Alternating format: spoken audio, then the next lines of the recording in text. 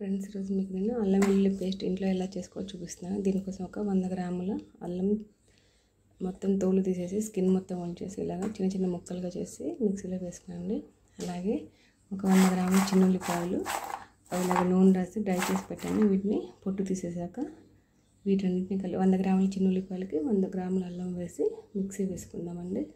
వంద గ్రాముల అల్లంని కొద్దిగా ఒకసారి గ్రైండ్ చేసుకున్నామండి తర్వాత ఒక వంద గ్రాముల చిన్న ఉల్లిపాయలు. సో అల్లం పేస్ట్ నిల్వ ఉండాలి కాబట్టి ఒక స్పూన్ పసుపు వేస్తున్నానండి.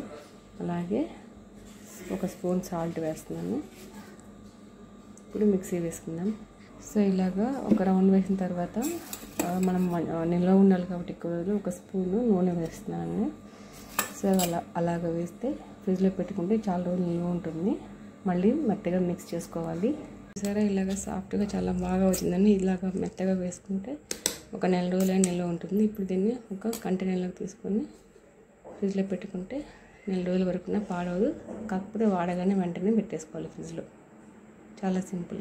మొత్తం ఒక కంటైనర్లో ప్లాస్టిక్ కంటైనర్లో పెట్టేసి ఫ్రిడ్జ్లో ప్రిజర్వ్ చేసుకుంటే చాలా రోజులు ఉంటుందండి.